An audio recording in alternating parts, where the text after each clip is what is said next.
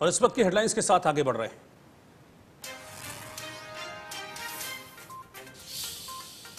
Corona की तीसरी लहर के मुहाने पर खड़ा है भारत। प्रधानमंत्री बोले, नहीं हुआ नियंत्रण तो भयावह होंगे हालात। आईसीएमआर ने अगस्त के आखिर में तीसरी लहर की जताई संभावना।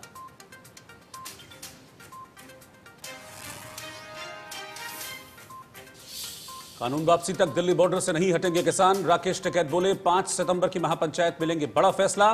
कहा, लगता है देश में अब जंग होगी।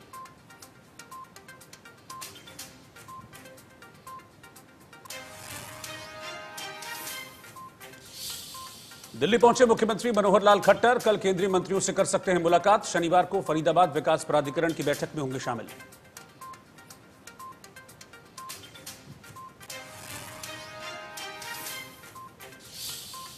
कोविड गाइडलाइंस के साथ हरियाणा में खुले स्कूल। अलग अलग समय पर शुरू हुई नवीं से बारहवीं की कक्षाएँ। स्कूल आने के लिए अभिभावकों का सहमति पत्र ज़रूरी।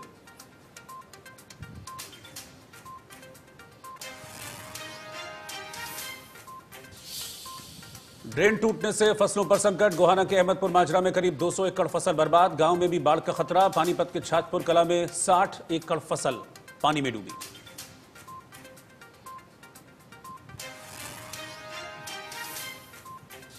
सांकेतिक कांवड़ यात्रा पर फिर से विचार करे यूपी सरकार। सुप्रीम कोर्ट ने कहा, सबसे ऊपर है जीने का अधिकार। 24 जुलाई से सील होगा हरिद्वार बॉर्डर।